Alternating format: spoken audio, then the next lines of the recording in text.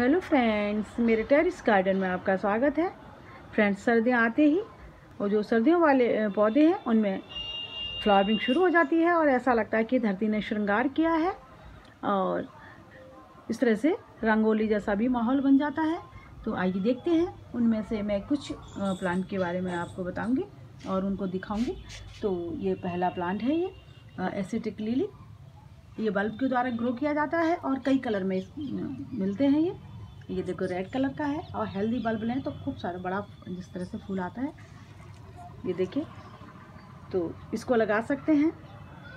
और ये ऐसा प्लांट है कि बल्ब इसके अगले साल भी फ्लावरिंग देते हैं।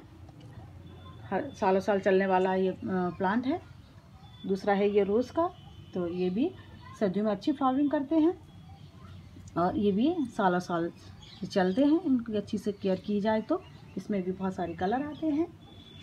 एक ये है, गेंदा का, ऑरेंज कलर का, बहुत सुंदर लगता है ये कलर। और एक ये येलो कलर में है, ये मेडिसिनल प्लांट है, बहुत सारी दवाइयों में इसका प्रयोग किया जाता है। अगला है कैलोडोला का, ये भी ब्यूटी प्रोडक्ट में यूज़ होता है। ये देखिए, ये दूसरा है कलनोला का प्लांट। तो इसके जो सूखे सूखे फूल हैं, इनको हटाते रहें। तो अच्छे से ब्रांचेज आएँगे और खूब प्रॉब्लम होगी। और बसंत के टाइम पे ये बहुत ही सुंदर लगते हैं। इसमें ऑरेंज कलर भी आता है। और ये है ये है डहलिया पॉम पॉम ये काफ़ी सुंदर लगते हैं। और ये तो काफ़ी टाइम तक चलते हैं। इनकी ऐसे ऐसे केयर किए जाए तो। जेरेनियम का है ये प्लांट। और इसमें भी काफ़ी कलर आते हैं और ये भी सालों साल चलने वाला प्लांट है पेरेनियल प्लांट है। और ये है डेंतास का। तो इसमें तो काफ़ी फ्लावरिंग होती है, बहुत ही सुंदर प्लांट लगता है। इसकी बस सूखे सूखे फूल हटा, हटाते रहें। तो खूब सारी ब्रांचेज इसकी आती हैं और बहुत टाइम तक ये फ्लावरिंग करता है। और बहुत ही सुंदर लगता है ये। इसके बर्ड्स वगैरह भी आ रही हैं काफ़ी और बहुत सारे कलर में आता है ये। और अगला प्लांट है ये। बालसम का। देखिए कितना सुंदर लग रहा है ये प्लांट इसकी पत्तियाँ कितनी सुंदर हैं। कलरफुल पत्तियाँ इसकी काफ़ी सुंदर लगती हैं। देखिए फ्लावरिंग भी बहुत अच्छी हो रही है। तो बर्ड्स भी आई हुई हैं इसमें। कलियाँ आ रही हैं सब में। देखिए, इधर भी एक फूल आ रहा है।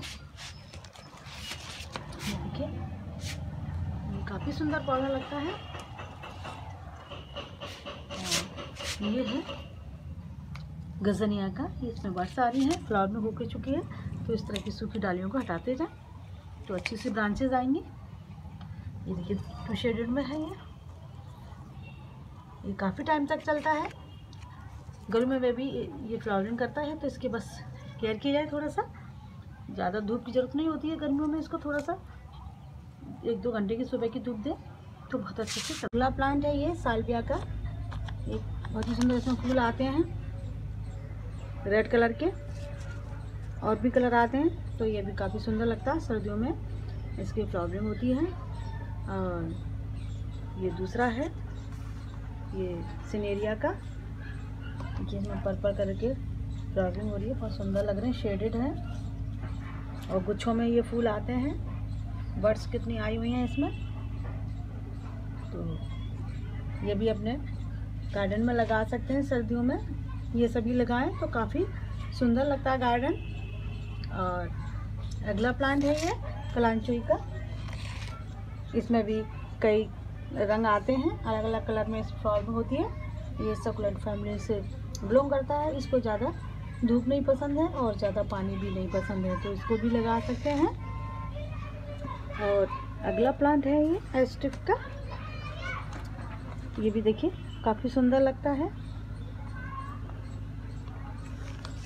इसके पत्ते, ये पालक जैसे होते हैं थोड़े थोड़े और अगला प्लांट है ये ब्लीडिंग हार्ट तो इसमें देखिए, ये वाइट कलर के इस तरह से फ्लावरिंग होती है और उसके अंदर ये हार्ट जैसा शेप में दिखाई देता है तो इसको ब्लीडिंग हार्ट बोलते हैं। ये भी ज़्यादा धूप में चलने वाला नहीं है मतलब कम धूप में चल जाता है ये। और इसको छनकर धूप आती है, वहाँ रखें।